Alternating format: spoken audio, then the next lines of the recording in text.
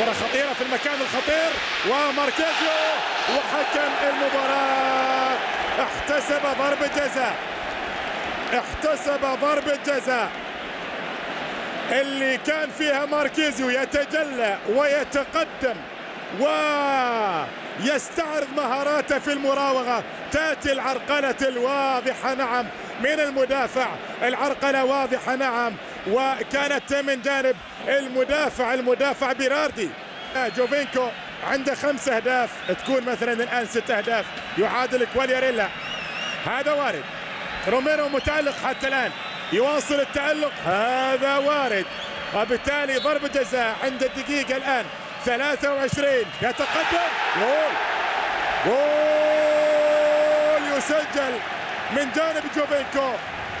وبالتالي صمود نادي سامبدوريا يتوقف الآن عند الدقيقة الثالثة والعشرين. تأتي أفراح اليوفنتيني واليوفنتينية لأن جوفينكو تقدم وبقوة سدد وعلى يمين حارس المرمى الأرجنتيني روميرو سجل الهدف الأول وأسعد الرجل وكأنه يلعب معاهم في الملعب يا جماعة. هذا رجل ما اعتزل كرة القدم.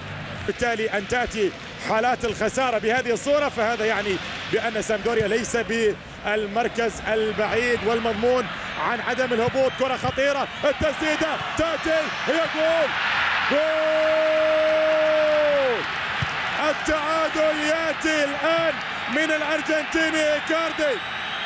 إيكاردي سدد كرة ما كانت قوية ولكن الغرابة كل الغرابة العجب كل العجب إنها هي مرت من مين مرت من بوفون واستقرت في الشباك. وبالتالي تأتي الاحتفالات في المدرجات الآن لأن سامدوريا بعشر لاعبين سامدوريا بعشر لاعبين يعادل اليوفنتوس والأرجنتيني إيكاردي. وخطأ كبير من الكبير بوفون. الكرة تستقر في الشباك وبالتالي يأتي التعادل. يأتي التعادل الآن لسامبدوريا في مباراة هذا المساء. محاولة قائمة بهذه الصورة كانت عن طريق بولي يتحسن بشكل كبير. وبالفعل والإسباني الآن أوبيانج يتقدم والفريق اللي لاعب بعشر لاعبين بالإمكان بالإمكان. الله الله! ما الذي يحدث في تورينو؟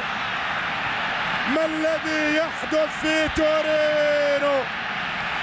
الأرجنتيني فعلها مرة ثانية.